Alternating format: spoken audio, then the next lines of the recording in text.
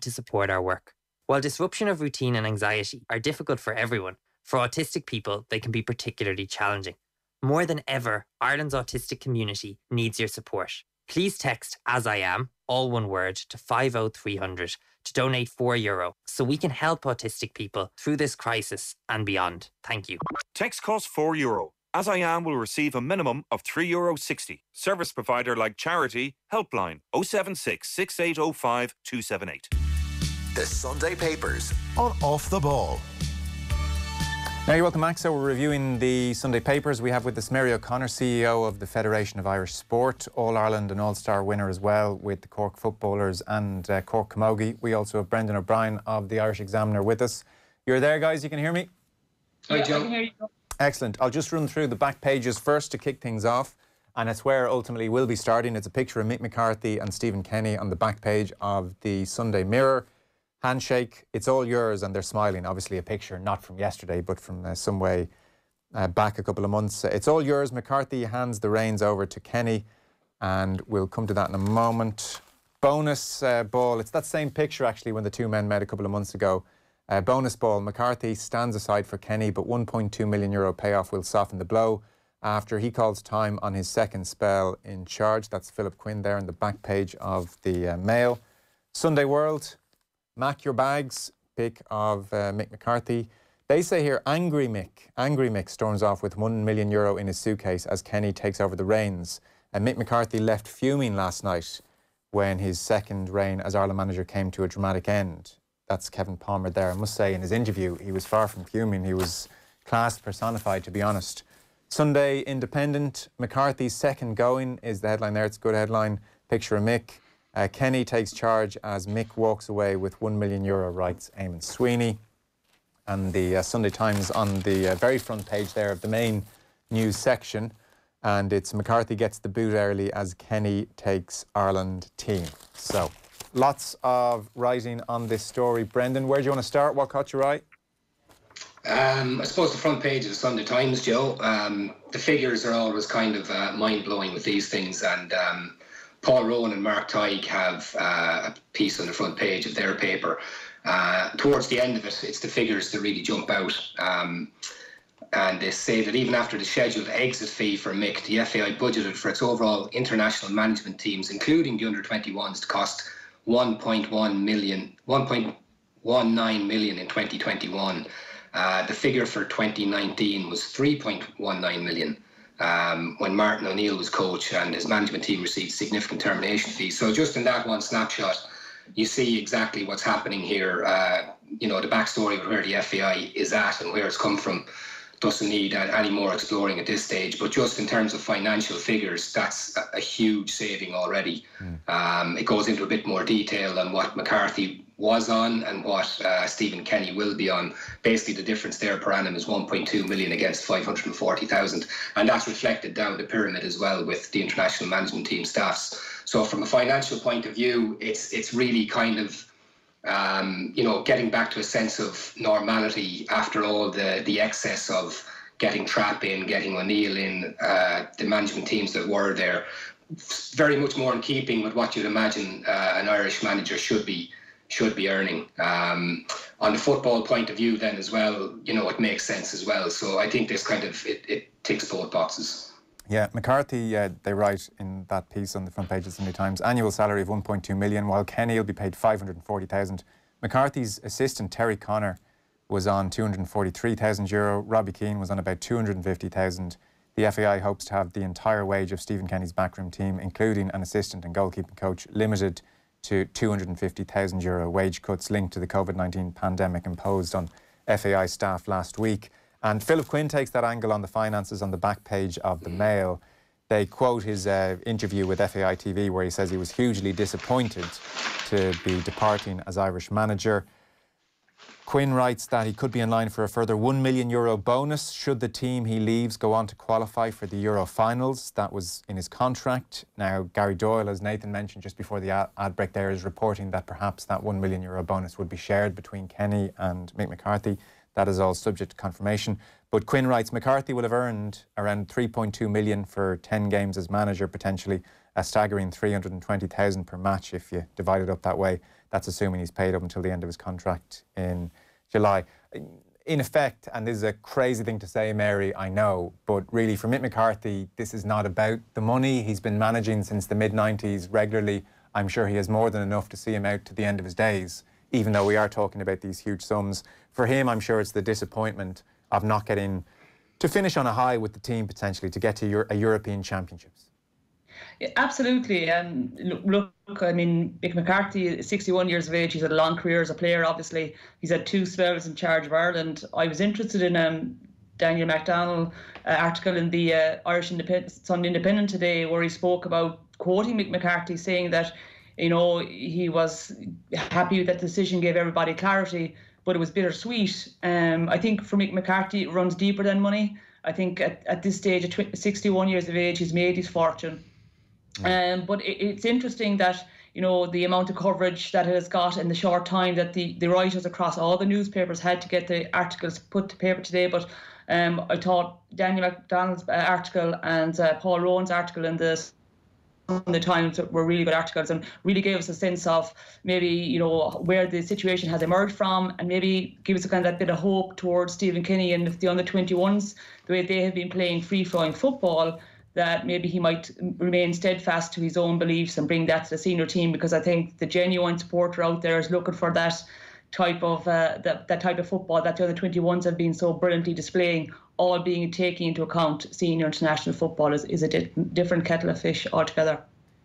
Brendan, in Daniel McDonnell's piece that Mary mentions there, he writes, It's understood that the FAI ultimately concluded that in this new era for the association, it was important to go by the book.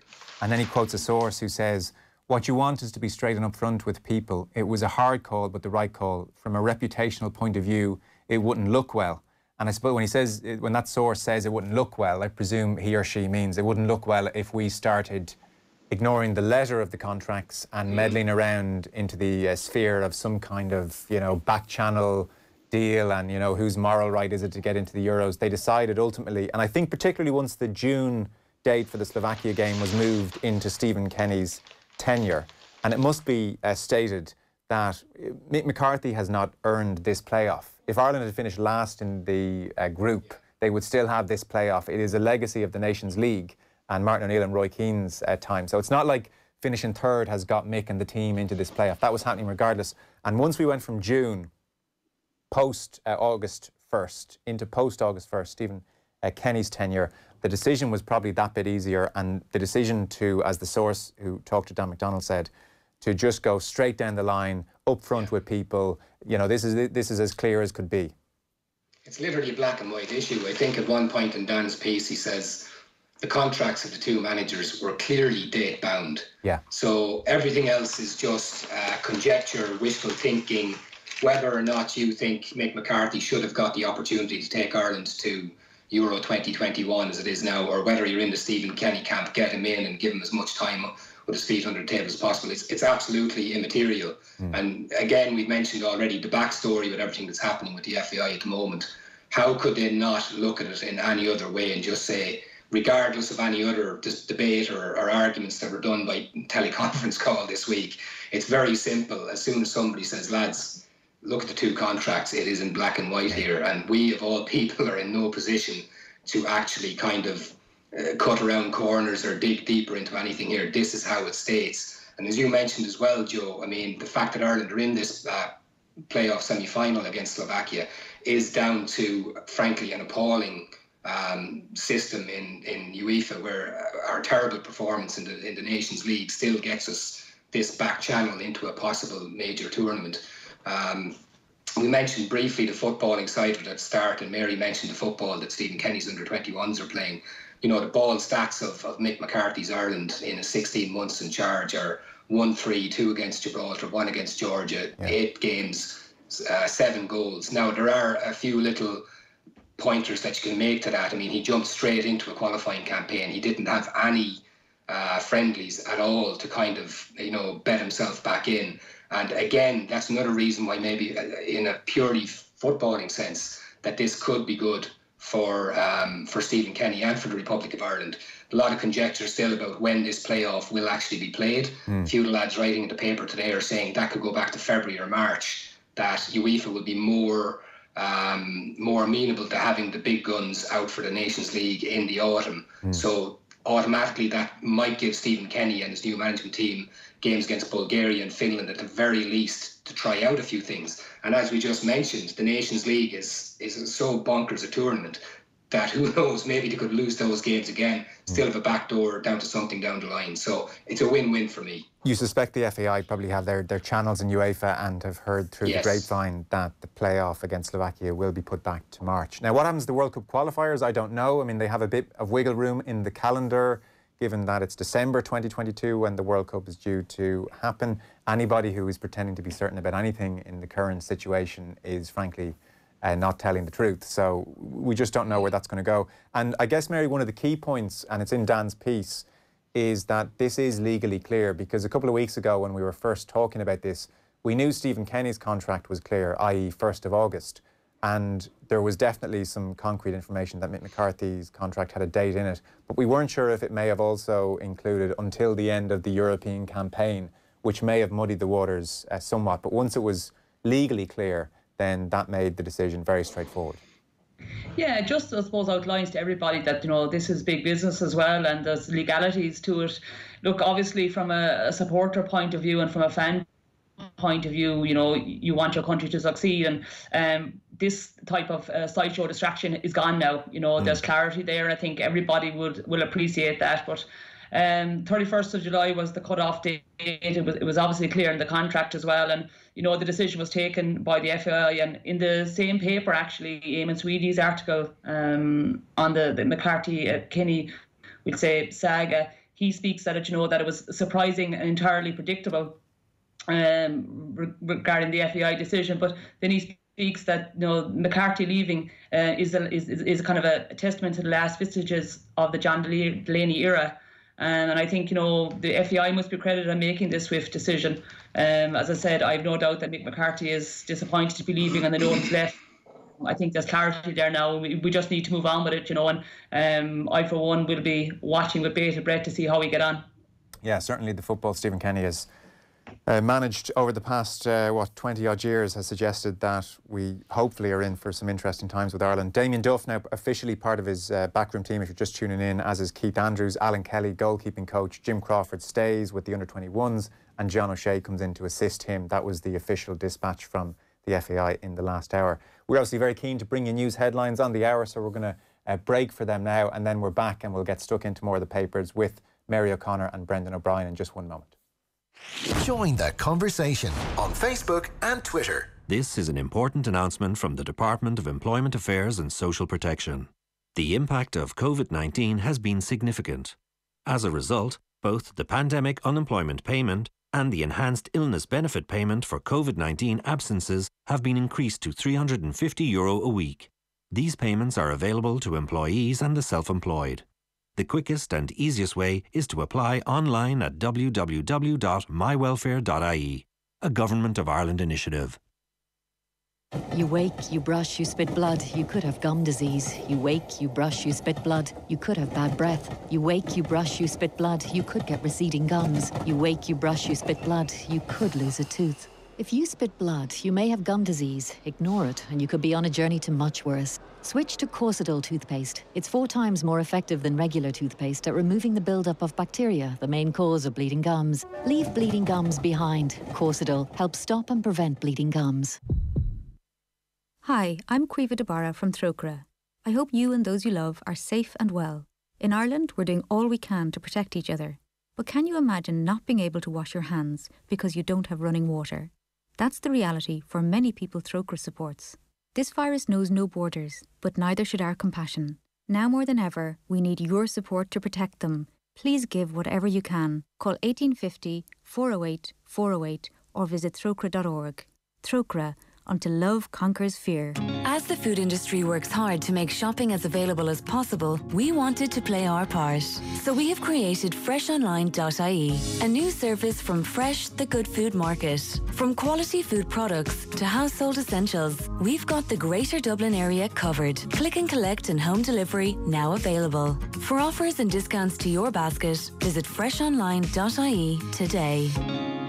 At Electric Ireland, we're here to help 1.2 million homes save on their energy costs by lowering prices from the 1st of April. Every customer will benefit, with up to 100 euro in annual savings for homes with gas and electricity. That's millions more in pockets across the country. On top of lower prices, our customers will still enjoy a discount rate that doesn't disappear. Find out more about what we're doing for our customers at electricireland.ie because we're brighter together. Prices valid from 1st of April 2020 subject to change. EAB 1636 euro based on average annual consumption, urban 24-hour discounted unit rate, standing charge, PSO levy and carbon tax. Residential dual fuel direct debit and online billing. T's and C's apply. See electricireland.ie slash EAB. Savings based on annual consumption.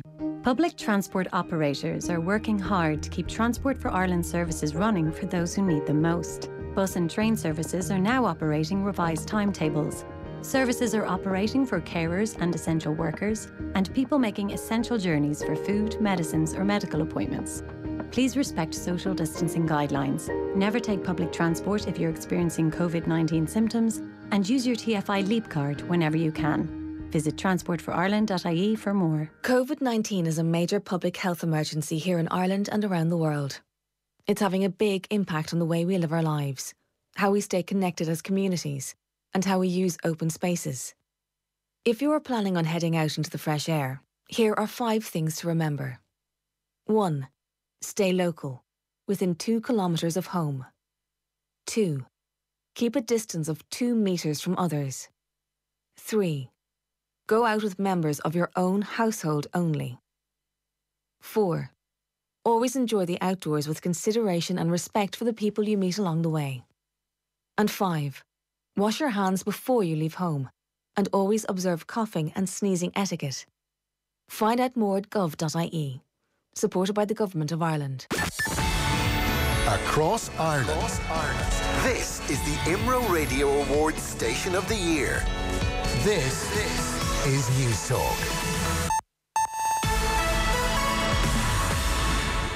It's two o'clock. Good afternoon. The HSE says four million euro has been spent on personal protective equipment that isn't suitable for Irish healthcare settings. The equipment, made up mostly of masks, represents 20% of the PPE that's arrived so far in Ireland. After inspection, 65% of the overall delivery was found to meet standards, while a further 15% can be used, but it isn't of the quality expected. HSE CEO Paul Reid says further discussions will take place with the supplier to ensure no no more unsuitable PPE is delivered. I think if you look at our first order, which is just over 30 million, uh, which has arrived on the first 10 flights of last week, 20%, if you like, the order that we will find a use for, but we will be going back to the provider to get a different specification, is to the value of about 4 million euros. Four and a half thousand people will be tested every day from next week as part of efforts to stop the spread of COVID 19. That's up from the average this week of one and a half thousand. Some testing centres haven't been operating at full capacity this week,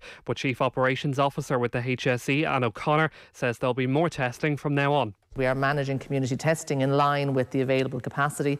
That laboratory capacity will increase over the coming week and we will scale up our community testing. The sites are there, uh, they are able to scale up immediately once the lab capacity increases. Gardaí say most people are sticking to the restrictions in place, but that it needs to continue. There's mild weather across the country today, but the force is asking people not to leave their homes unless it's essential. Deputy Commissioner John Toomey has also addressed concerns about how checkpoints are being conducted. In particular, a question has been asked about the wearing of masks, and the advice at the moment is that it, there is no need to wear masks uh, when conducting checkpoints, particularly where we adhere to the physical distancing guidelines of maintaining that two metre distance when talking to people in their cars. And finally, the PSNI has released one of three men arrested after two ATMs were stolen in Dundalk, County Louth, in the early hours of yesterday morning. The cash machines were taken from two separate banks in the town. The raiders also set two cars on fire outside Dundalk Garda station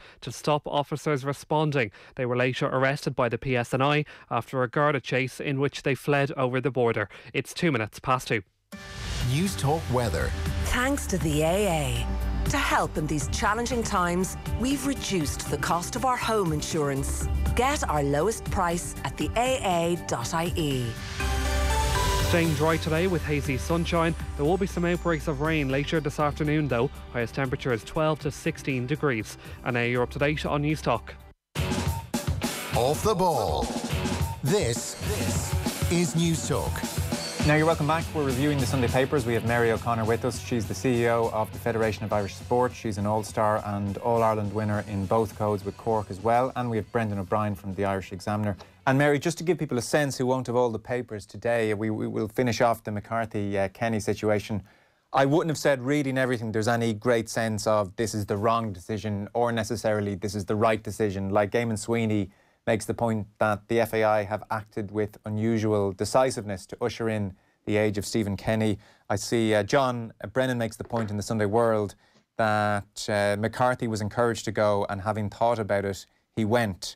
And there's a few bits and pieces about the finances which we've touched on. But in the main, I think Mick McCarthy and the very, very classy, dignified, not surprisingly, interview he gave to FAI TV, the way he is elected to depart the scene has made this far easier on the FAI, far easier on Stephen Kenny, and not led to a couple of days of uh, backbiting and recrimination, and this is no way to treat an Irish legend and all that kind of stuff. Instead, I think he's taken the higher road, not surprisingly. Yeah, look, I mean, I, think it's a, a, kind of a testament to the man, and I think you know it, it does make the, the road a lot smoother, and it, it allows Stephen to start straight away without having to, I suppose, deal with any acrimony. Um, I think also it's important to remember that this is less than 24 hours old as well. I think you know, E broke it yesterday evening around 4 p.m. Um, so people are reacting now. You know, uh, I think in a couple of days people might respond differently, but I think absolutely um, Mick McCarthy's reaction to this has been key because that has allowed, uh, you know, the, the FAI and for Stephen to actually not have to deal with a situation today where they're probably having to uh, defend their decision. Obviously, there's contractual arrangements, but I think the key to this has been Mick McCarthy's reaction, and I think it's for the betterment of, of Irish football. And I'd like to think when Mick was a player and his two spells as manager, over 78 games for the country as manager, I think, you know, it shows that he, he's at the heart of it. Ireland was at his heart, and I think that's important. Yes, and a final word, Brendan, on it before we move on. Of course, we could be sat here potentially in uh, September and Stephen Kenny's first game in charge is against Slovakia, and it mightn't go well, and it will be easy to say, well, was this the best preparation for a huge game like that? But from this vantage point, and it's only at this vantage point that the FAI can make their decisions. It would seem like it has generally been accepted, it is clear cut. Uh, this is not going to rebound massively on them. Yeah, and you made the point earlier, Joe, that you'd imagine the people in the FAI have their their contacts in UEFA and that they, they would be pretty confident that we're not going to see that uh, playoff game this side of Christmas. And just finally, like one point that struck me, and I'm not saying it had anything to do with Mick's um, reaction to the situation. But if you look at it from Mick's point of view, um, we still don't know when that game is going to be on. That could have been on next March for all we know. Yeah. So it could be you could be waiting 11 months for uh, for one game, and you lose in Bratislava or whatever it is, you're done. So flip that another way. We still don't know where the domestic season in the UK or anywhere else is going to go. But if Mick McCarthy is done now, he is, as I saw a quote somewhere in the papers today, he's eager to get back into management. And yeah. if we saw anything from the Martin O'Neill situation when that went south so quickly at the end of his time in charge, it didn't do Martin O'Neill any harm whatsoever in getting another go at English club football with Nottingham Forest. Yeah. So I think, you know, it'd be interesting to see does Mick have the same, how would I put it, the same advocates in the English media as Martin O'Neill did.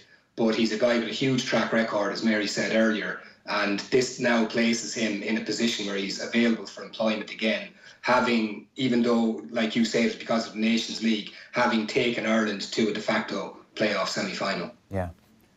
Well, I'm sure we'll hear from Stephen Kenny across the week. If we move on then, so there's plenty of McCarthy Kenny coverage. Mary, I know a piece that caught your eye, and it was the same in my case reading here in the station, was on page four of the Sunday Independent. It was Tommy Conlon. And this is, you know, complete opposite end uh, of the spectrum to things like million euro bonus payments and payoffs and who manages the team and all ultimately this uh, unimportant stuff in many ways when it comes to life and death, which is the kind of things we're talking about now more than ever. So it's uh, Tommy Conlon, and the headline is Enough to Make the Heart Weep. And he's talking about Conor Kennelly, who people will have seen over the last uh, 10 days or so, passed away, former Roscommon footballer. And Tommy starts by saying, You'll know that a fella has the football bug bad when he's togging out at the age of 43 and playing in the gulags of the junior B grade, not even junior A, junior B. There are no more stops on the line after that and he mentions Conor Kennelly was playing junior B at the age of 43 in dot dot dot Offaly. There are fellas who survived Vietnam who wouldn't volunteer for that. And incredibly sadly, tragically, Tommy writes last Saturday morning he dropped dead while out jogging near his home. In that utterly absurd twist of fate which randomly strikes so many families, a loved one was taken long before his time and without any apparent reason. Why him? Why now? Was there not enough death already striking the land and every other land uh, without taking a husband from his wife, a father from his three children, and a son from his parents? So that is the very, very striking, striking opening to Tommy's piece. And then Mary, he details the funeral, and there's a photo above the piece of a Garda escort for the um, coffin, and there are people lining the country road. It looks like maybe the GAA club they're going by and flags. There's a Roscommon flag at half mast as he made the trip back to Roscommon. And I think we touched on it last week even, but it's going to become a, a theme across the next couple of months. Uh, funerals are not what they were. Yeah, look, and Tommy has wrote some very good articles in the last number of weeks, but this was a really poignant article. Um, I, you know, you, you speak about obviously the words hit you off the page, but that picture um, is really striking. You know, to see people uh, observing and respecting Conor and standing social distancing and so on, and it, it's just so grave. And you know, the way he speaks about a father, mother having to bury their son, it's unnatural. It goes against the very grain of life. And you know, ultimately, he died doing what he enjoyed doing, which was exercising you know, and to be playing um, junior B at 43 years of age in in any county, you know, just I suppose it just tells you that he loved the game and he didn't want to let go. Um, and it's a really really good article and it documents, you know, his his life and his career and you know how even in school he was rewarded for his academic prowess um, as well as he's you know his his prowess on the field of play and you know, it, it, it, just a really, really strong article from Tommy. And I think, you know, Irish life at the moment is being challenged in so many ways, but Irish society, when people die, you know, our funerals are a mark of how we we respected them and how much we love them and you know we show that and, and we help people grieve and this seems so wrong in so many levels that a young man 43 years of age you know a wife and three kids is gone now and it just shows again as well that that community spirit that sport has that it's transcended from not just his home in, in Roscommon where he grew up, but down to Ballycumber in Offaly as well, and how he made his home there and he was part of the community. And you know, Father Brendan O'Sullivan is quoted in the article as well. A really, really strong article from Tommy today. Yeah, Brendan, he's, uh, Tommy writes of Kennelly that he studied law, became a solicitor, uh, won a Connacht senior title with Roscommon in 2001, uh, married Claire Quinn, that brought him to County Offaly. And he says of his life there, he was a member of the board of management of the local national school. He was a director of the Ballycumber Community Development Group. Uh, he was a man making his contribution to society. And then last Friday week, it gives you a really good sense of the man. He sent a text message to Father Brendan O'Sullivan, who ultimately presided over the funeral just two weeks later. And the text message said, Hi, Father Brendan.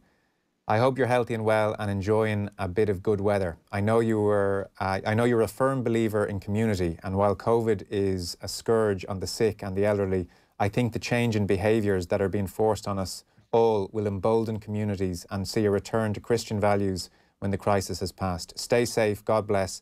Thank you for all you do. All the best, Conor, Claire, and the Kennelly family. I mean, that's a, yeah, it's very touching, isn't, isn't it? That, isn't that an incredible mark of him as a person? and and then uh, if, if I read correctly, it was the next day that he passed away. I mean, how striking is that for something to happen?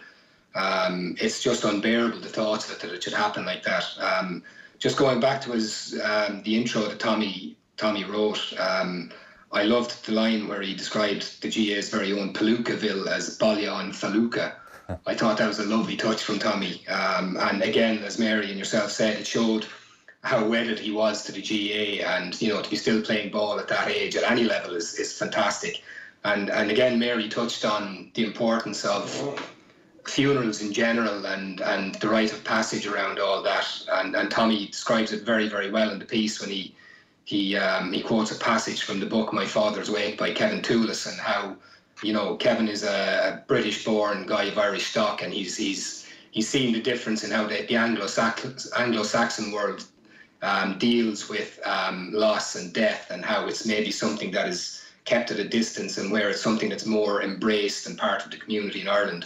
And and at a time like this, as the as the photo on the piece shows, with the Irish flag and the Roscommon flag at, at half mast outside what looks like a, a, school or something like that, it really does hit home um, what we all lose in, in, in these times. Like these are, um, you know, individual tragedies that are happening on, on a very localized level while this global pandemic happens. And, I, you know, in terms of funerals itself, I've seen it myself in the last couple of weeks just before the restrictions really saw um, a relative of my wife passed away and they had a funeral down in Limerick just before everything really kind of locked down and was still a large gathering. And then just this week, a family friend passed away and I watched the funeral online. So in that very, very short period of time, literally in two weeks, we've gone from, you know, centuries of Irish tradition and how we deal with the passing of loved ones to this very distant and necessary means of, of seeing them off. And it's,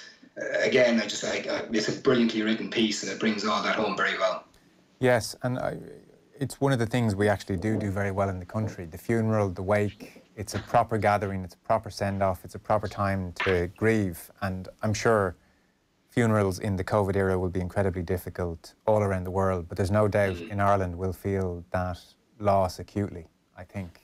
Um, in so much, you know, I, I hate things that say, I, I, hate saying anything is very Irish and very this and very that. Yeah. I think we're all far more similar than um, we care to admit, but the funeral tradition uh, will be acutely felt. The loss of it will be acutely felt over the coming weeks, no doubt. It's such such a, a part of the, the grieving process, Joe, for for centuries, mm. you know, and it's what's been handed down to me from my parents and so on. And you know, it's it's an opportunity as well to know that if if you love somebody, that you can show and show that as well. So that old adage that you know, you know, you love, you grieve. You, you, if you grieved, you've loved. You know, and I think it's just the way Tommy has um, put pen to paper on that article. It really is. It could be about any individual across the country um, who has passed on. Um, but this is really tragedy that he was just out exercising, mm. probably trying to do his bit to keep fit while the COVID 19 pandemic is on. And um, it, it's just so sad for him and his family and, and for all people that are involved in the local communities down there in Offaly. Yeah, for sure. Condolences to all concerned, his family, his parents. It's just a, a dreadful time for them all. So that's Tommy Conlon, page four of the Sunday Independent, if you want to read that piece. We'll switch to the Sunday Times, Brendan. Oisin McConville, uh, familiar to us all. He's a brilliant pundit these days. He was uh, equally brilliant forward for Armagh, an All Ireland winner back in the day. And uh, there's a fantastic interview with him where he's talking about uh, his addiction to gambling and ultimately how he worked his way out of that, the influence Tony Adams has had on him, and some of the work. I wasn't fully aware of the extent of his work, but some of the work he has done now, where he's been over with, you know, Manchester City, for instance, or various rugby clubs in the UK, uh, where he shares his experiences with the players. Yeah, very good piece, very well written by Denis Walsh. Um, uh, yeah, like yourself, Joe, I, I, would have been familiar with a lot of the basics, um, the foundation of this story. But again, is the, the, depth of his work. While I knew he was doing stuff in gambling addiction, I didn't realise it was at that level. I didn't realise he was talking to professional sports people in, in the UK as well. And there's some very in- interesting observations on the difference in reactions that he got when he would walk into maybe a Premier League dressing room and then into a rugby league dressing room and all the more startling when you think of the geographical similarities there. Like you could be in the Greater Manchester area, you have, you have all those fantastic um, football clubs, but you also have your Wigans and Widnes and, and all these people. So one little geographic area, and yet the disparity in how they were addressed. And, and basically, what he was saying was that the Premier League footballers might be sitting down in this state of the art kind of lecture room, not even aware of what this was it's just another part of the day. Whereas the rugby league players were coming in very well briefed.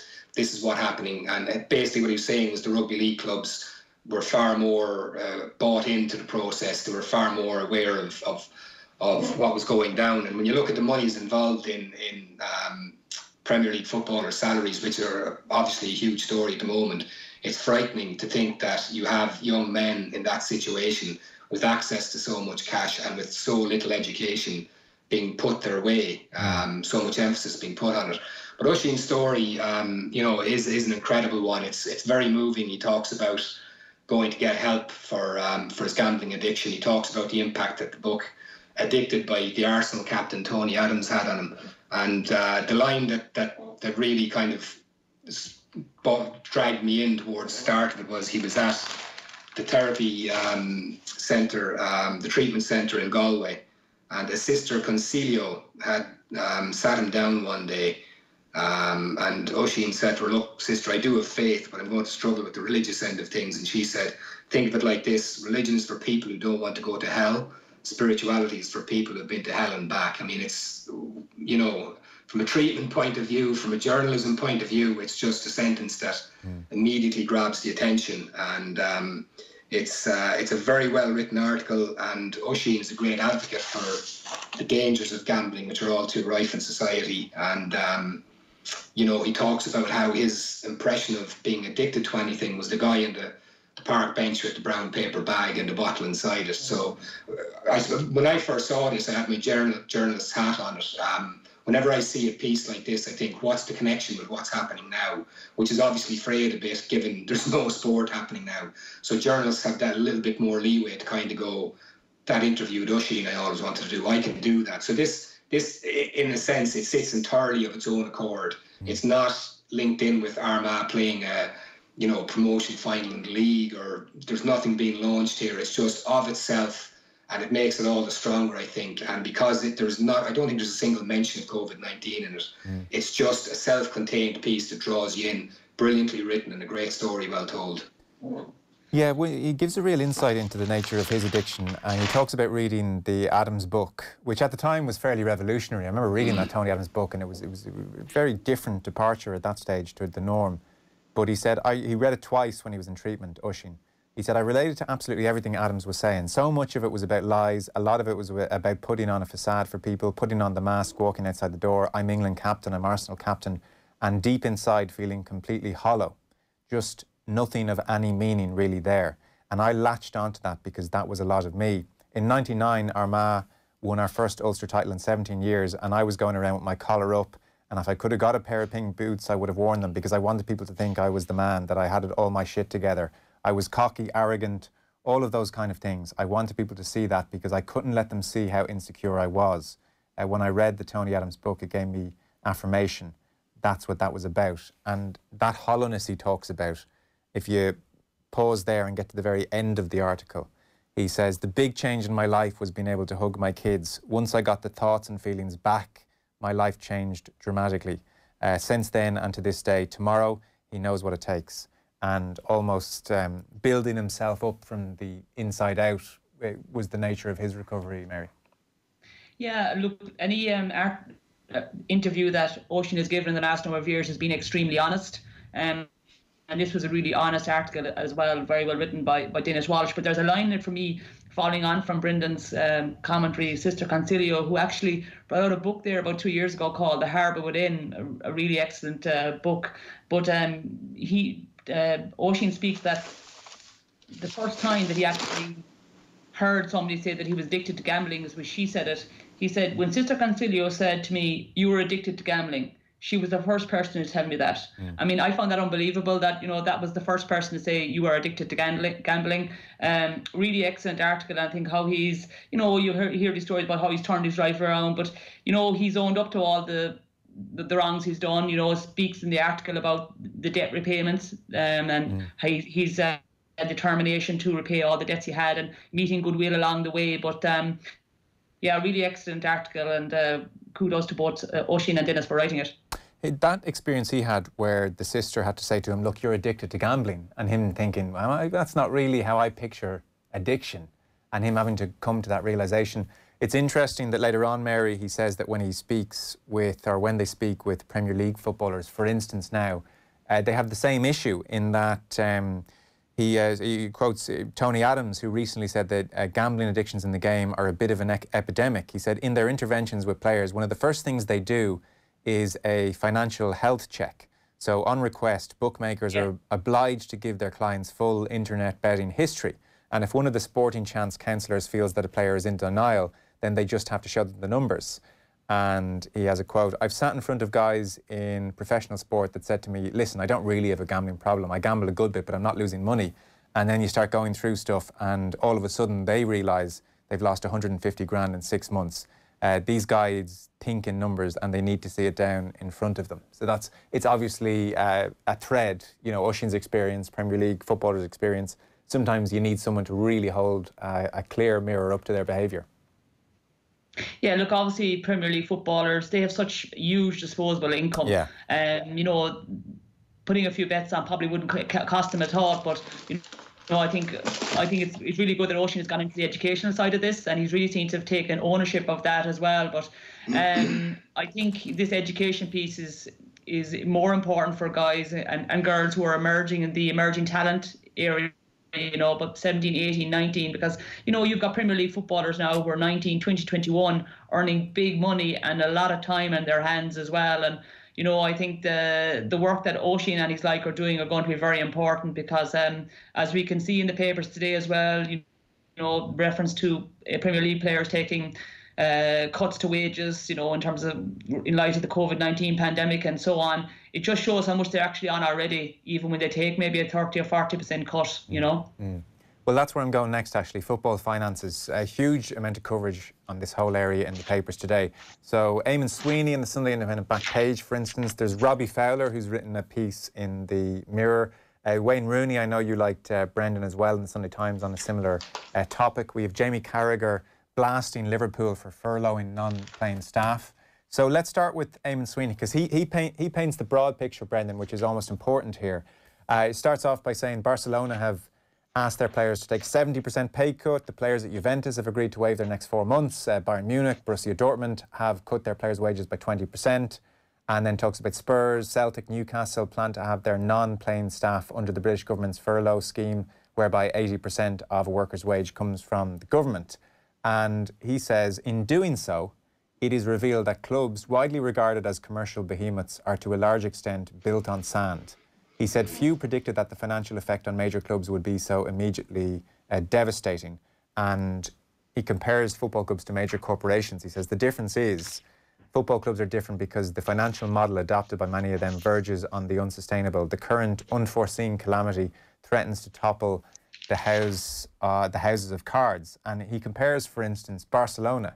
Barcelona, says, 200 million euro in debt, over 80% of their budget goes on wages. Real Madrid, by comparison, actually, just 20 million in debt and spend less than half of their budget on wages. So Barcelona being an example of one of those clubs where they are potentially built on sand. They don't have this rainy day fund, Brendan, and yeah. he extends that to a huge number of clubs. Yeah, and if you if you step back, I mean, the great thing about this piece from Eamon is you've gone into a lot of detail on the detail, and it's not turgid, it's not figures just washing over you. Yeah. He explains it very well. There's some great examples in it. And if you step back from that detail from the moment, what he's basically saying is what we've all been saying about football ever since TV money started flooding in is where will this bubble burst? Mm. And at a time like this, when everything has been, uh, the pause button has been pressed on us, it does give us the chance, as we've seen in a lot of media articles, wondering where football goes next how do we get out of this? What happens next for football?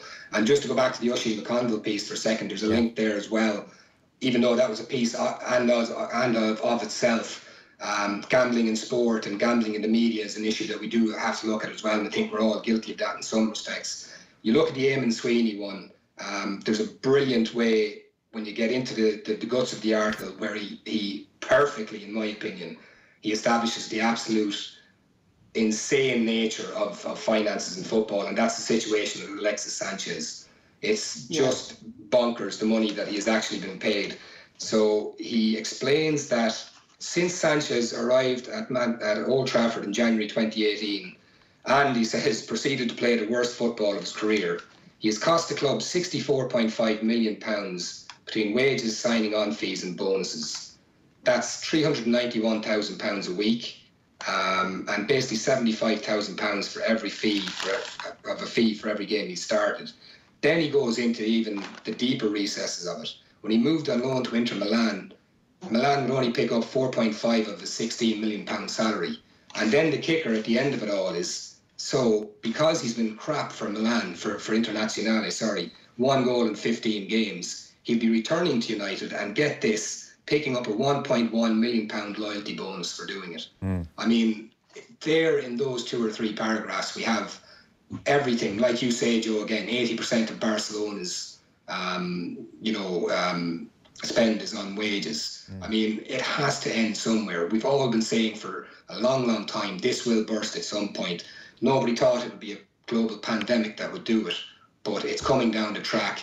And we've seen, um, you mentioned the Wayne Rooney piece earlier on, how um, it's all been kind of turned around onto the footballers, not just by the clubs and the billionaire owners, but by the NH, not by the, the health secretary in the UK as well. Yeah. And Wayne Rooney makes some fantastic um, arguments about, hold on, why all the focus on us? And here's here's the holes in that argument. So something has to give somewhere, Yeah. and it'll be it'll be lovely to think that this pause will give us time to rectify an awful lot of it.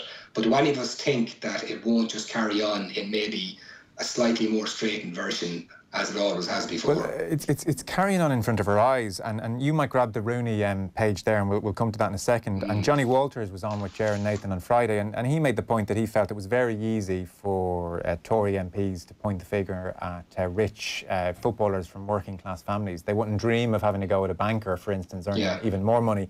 But there is. Uh, there is a question for football to answer in terms of the owners at the moment and how they're doing things. Like Eamon Sweeney says, uh, it's also uh, very possible here that some clubs are putting on the bail booked at the moment, the poor mouth.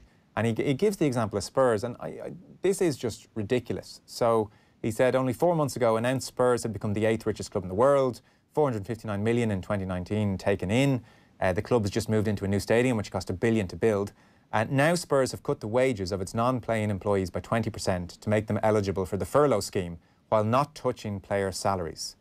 And he goes on to say that they're asking the British taxpayer to pay for their non playing staff, and they continue at the same time to give their players an average weekly wage of £76,000. Uh, pounds. and that is, insofar as I can see, a disgrace that they are taking taxpayers' money. We're all going to have an enormous tax bill to foot here in this country and in the UK.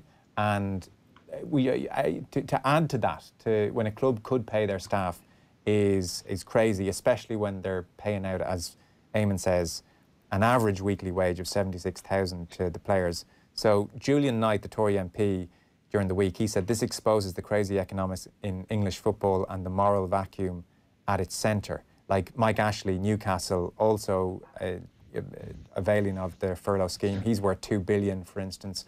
Harry Redknapp, the former Spurs uh, boss, quoted. He says. Uh, the government were going to pay ordinary people who are struggling, help small businesses who are struggling. But if you're talking here about a club where players earn 10 to 12 million a year, Tottenham are owned by Joe Lewis, one of the richest men in the world. His club are cutting the wages of all their non-footballing staff by 20%. I can't believe it. And, and, and in, in those terms, this is not directed at the players, and we'll come to Rooney's piece. But Mary, in terms of what how the, some of the owners are behaving, uh, for me that's inexcusable. You can't be looking for taxpayers' money and continue to chuck 300 grand to a couple of players' way. Like I mean, the the article is is full of stats, but as as Brennan said earlier, it's not truncated. It's so easy to read, but you know, Eamon goes after Spurs again. He said four months ago, Tottenham were the eighth richest club in the world. They had a new stadium that cost one billion to build. Daniel Levy was um, given a three million bonus for the completion of the White Hart Lane project. Never mind, he says that it was eight months late and drastically over budget. Mm. So it just seems to be systematic of the whole process over there. You know, um, it, it, I've often speak, spoke about the Premier League and the football as just virtual money, just you know, built on sand is a good way to, to describe it. Um, I'm not sure. I'm not. I'm. I'm a bit cynical about the Premier League and um, what's going to happen there in terms of when we get back to whatever normality will look like. Um, going on news reports this morning, the Premier League players have declined to take a, a, a 30% uh, pay cut. And they say that it would mean that it'd be 200 million less to the uh, UK government in taxes. They would prefer to open up a, um, a charitable fund. Um, either which way, you know, obviously I just think that the money in the Premier League is astronomical. You know, it's it's the same in Spain, Italy. These people are on really, really good money. But um, I think the article that Eamon wrote today really uh, spells out clearly mm. uh, that there is a, a Maher vacuum. Uh, Jamie Carragher on the back page of the Mirror, this is on the back of his tweet, where he said of uh, Liverpool, you know, he said Jurgen Klopp showed compassion for all at the start of this pandemic, senior players heavily involved with uh, wage cuts, and then all that respect and goodwill is lost. Poor this, and then he tags in at Liverpool FC. And Stan Collymore, similar tweet, uh, it's just plain effing wrong. Uh, fellow football fans, furlough is for small business staff to keep those small businesses from going bump and goes on to say every Premier League owner has serious cash and make money from skyrocketing values of the club. So, uh, what aren't you getting about your owners dipping into their pockets? And, and that brings in Rooney. He feels, Brendan, in the Sunday Times in his column, that footballers have been hung out to dry a little bit here and also a little bit too early. I mean, he's one of the points he makes, which I think is very fair, is hang on here, we're, we're, we're 10 days, two weeks into this, and it's changed rapidly after each passing day Do you want to give us a chance to get together as a, you know, how many hundreds of disparate people across Premier League and Championship and see what we want to come up with? Do you want to give us a bit of time, maybe? Mm. Exactly, and, and that's worth mentioning in, in relation to a piece by uh, Rob Draper and Mike Keegan in, in, the Daily Mail, which goes into a lot of the discussions that are ongoing and the people involved in it. You know, um, Jordan Henderson is believed to be fairly prominent in what's going on. Um, I don't know. I, I, know Wayne Rooney's first column or two was described in the Sunday Times as in conversation with Jonathan Northcroft, their chief football writer. I presume that's still the case. Yes.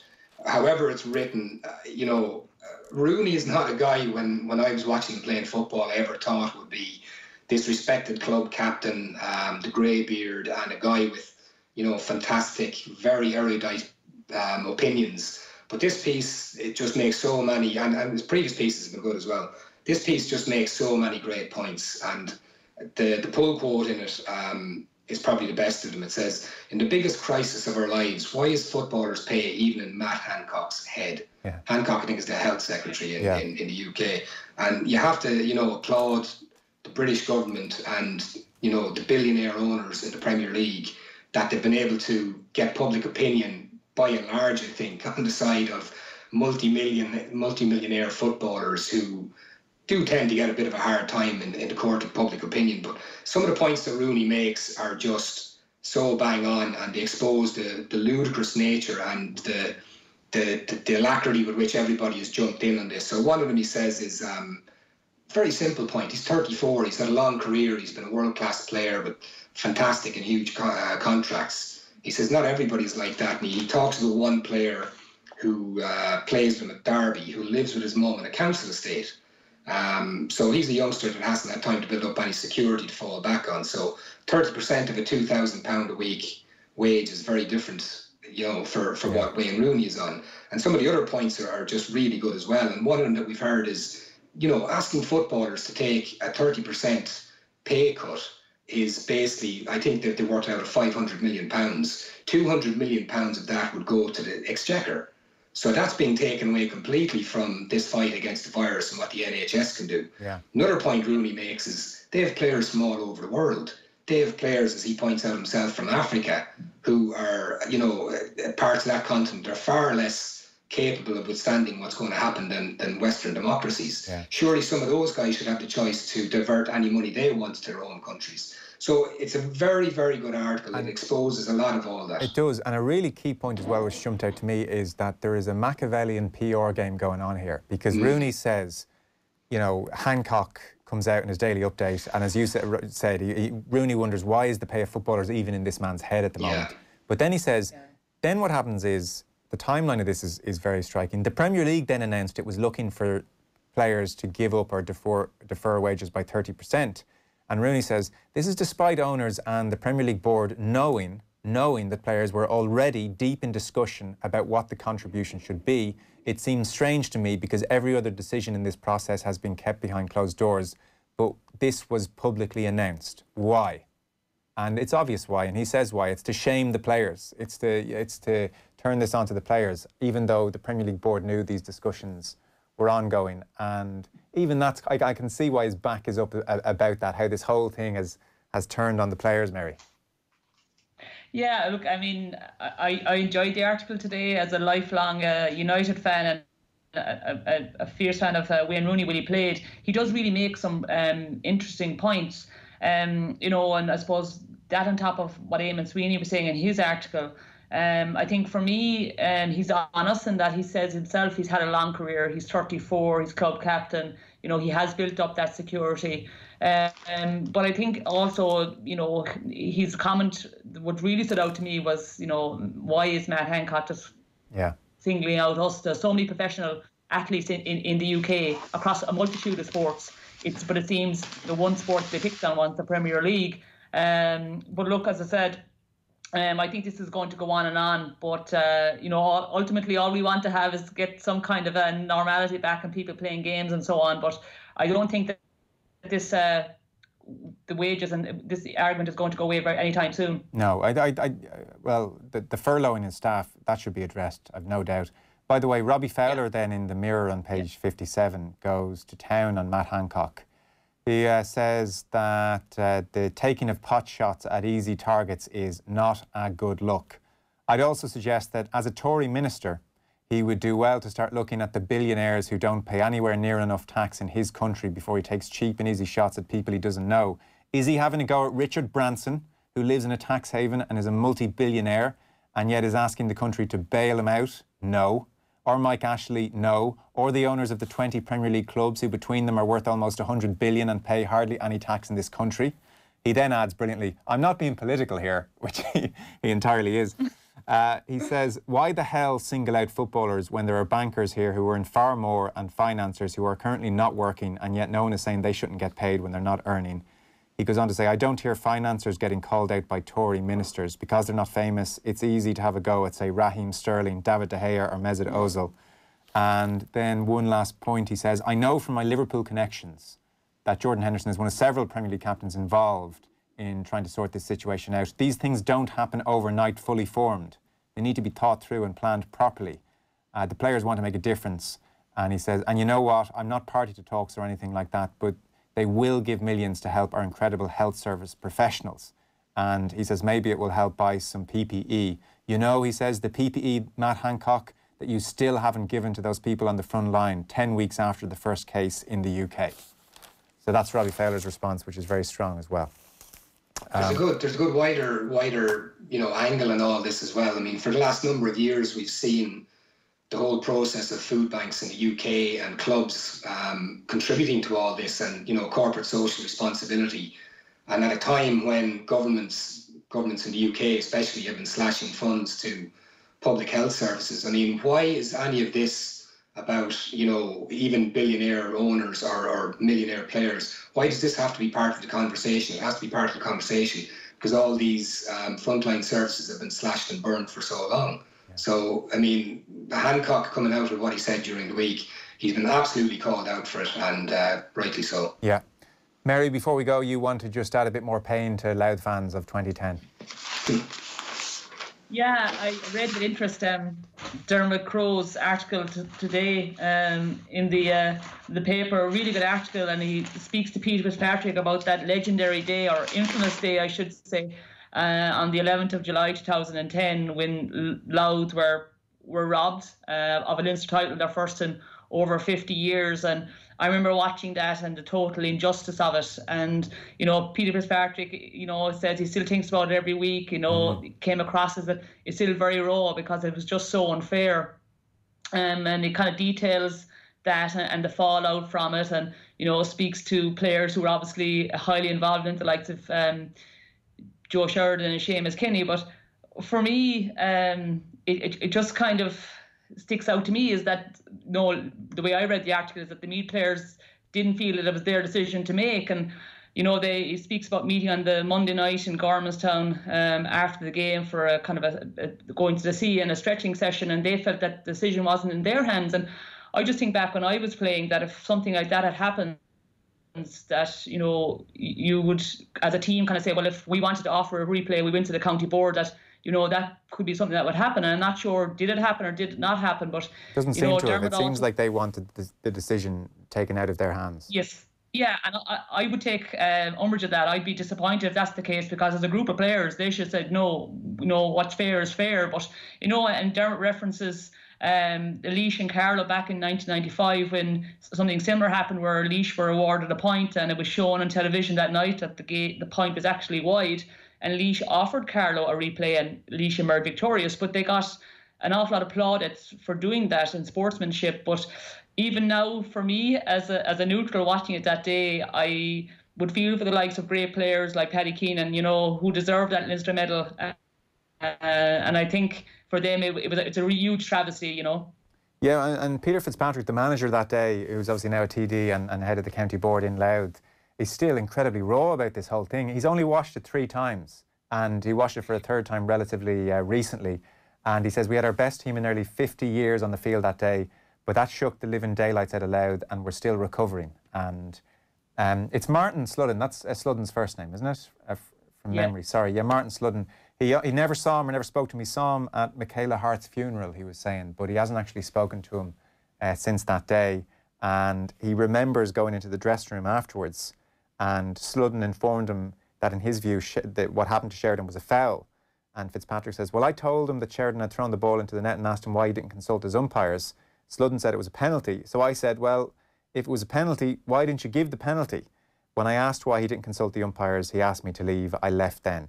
And um, Sludden declined to get involved in the interview with Dermot Crowe. I'm not surprised. I don't suspect he wants to relive it over and over again. Brendan, what can he say? He made a mistake. I'm sure he doesn't feel great about it. At the other end of the spectrum, weirdly, uh, so Joe Sheridan is the kind of quote which almost jumped out to me the most because he said last weekend while out uh, shopping, Joe Sheridan encountered a random passerby who made a light-hearted remark about 2010. That was his only offering. And Sheridan says to Dermot, I'll probably be remembered for that more than anything or any, or sorry, I'll probably be remembered for that more than my actual career, unfortunately. Uh, when you look back, I think it was an absolute horror show the way it was handled. The team weren't given any protection. I don't think the GAA handled it particularly well. It was unprecedented. We as a county needed more direction from them. It was put back on us. And interestingly, Brendan, he says, like, they celebrated that night, but he talks about the things they missed out on. Like we, he says, we didn't even bring it round to the local schools and let the kids see it. It was all almost uh, brushed under the carpet. And in 2010, Meath disappeared that season as well. Like they went nowhere. So yeah. it's not like there's a. The, uh, you couldn't really say Meath are winners in all this either in many respects. Certainly Joe Sheridan. I wouldn't like every time I go to the shop 10 years on to be reminded of it. No, and like Joe Sheridan was an amazing footballer. You know what I mean? Uh, I was at that game that day. I was covering it, and just reading this article, I was I was actually shocked. A that Peter Fitzpatrick bothered to look at the video once. I don't know how you could be could bring yourself to look at it three times in ten years. Mm. Second thing that really shocked me was how late in the game it happened. Literally, the kick out from the goal happened, and the referee blew it up, and I had no memory of it being that late. And Joe Sheridan makes the point that if that goal had been scored in the first minute, it would have been very different. But yeah. you're right, Joe. Even though he says, you know, we didn't feel a need to apologise. Those were the rules. It's football. You move on. Mary made the point afterwards that you know, um, you know, she'd prefer maybe if um, the players had offered or, or, the team had offered the, the chance for replay. But they did celebrate that night. If you look in the article, they did celebrate that night, and you have to put yourself back in in their mindset that evening. I mean, think of all the emotions around that game, the way it was won. It was only really in the days. Funny enough, I remember the after the, the fallout from it much more than the game itself because they would have been covering that at the time. And it was literally that sense of will Meath do the decent thing? Um, you know, what are Croke Park going to do? There was a bit of an information vacuum. So I do have sympathy for Meath. I mean, that's their still their last Leinster title. And as Joe Joe says, it's been completely it's airbrushed from history. Really, yeah. it's not a title that anybody in Meath is ever going to should ever take pleasure from. And for Louth, it was their big shot in 60 years and counting, and one that probably won't get for a long time again. Yes, yeah. Well, listen, folks, on that note, we'll leave it there. Um, my thanks to both of you. Thanks so much for getting up, getting out, getting the papers and, and taking time to do it. Mary O'Connor, CEO of the Federation of Irish Sport. Before you go, Mary, uh, I think it's just worth remarking on how difficult it is, is for lots of sports people and people working in the sports industry. I saw you quoted a couple of weeks ago in the Sunday papers about people's employment and the worries and sport's going to have a real way out, you know, to find their way out of this. The Premier League ultimately built on sand or otherwise will be okay, but there's various sectors of Irish sport now which will need a lot of help over the next 18, 24 months. Look, absolutely. I think people are realising now that you know, sport is a big business in this country. You know, you have national governing bodies of sport who have staff employed. Um, you have clubs across the country who are either amateur clubs or professional clubs.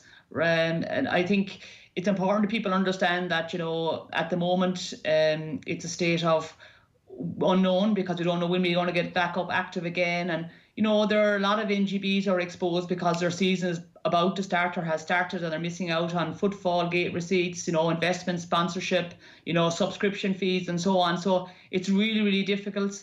Um, I know the NGBs, uh, the national governing bodies, and the local sports partnerships are being really active and trying to reach out to people online and communicate to their own members and their own audience to keep them active during this time. But you know, there's an awful lot of work going on behind the scenes uh, to try and ensure that when you know this pandemic uh, is is over, that sport emerges as the leader it is now, um, to get people active again. But it, it's going to be difficult, you know, for the very basic reason that you know, sport uh, by its nature causes crowds to gather, and at the moment we're not allowed that to happen. And I'm not so sure how long it's going to take um, for us to actually be able to do that again. You know, you're not going to be able to have 10, 15, 20,000 at games in the next couple of months, and that's the real stark reality of it. And uh, in the in the interim, you know, people need to be paid their wages. You know, sports needs to be planned, but it's it's a really difficult terrain, and you know there's a lot of hard work going on behind the scenes with Sport Ireland, um, the government uh, led by Minister of State Brendan Griffin, the federation, and are, uh, are working hard as well. And you know at, at the moment, what we can try and do is support our members. Um, we have 110 members, support them through communication and letting them know what's available to them through government supports as well. And if they have a specific challenge or concern, that they can come to us and that we will work with them to try and help them. But it's a really difficult time, but uh, sports people, by their very nature, we're resilient, um, we're strong-willed, and we will come through it, but we will need support. Okay, Mary, thanks for that. CEO of the Federation of Irish Sport, and Brendan O'Brien of the Irish Examiner. Thanks, Brendan. Cheers. Cheers, guys. Off the ball.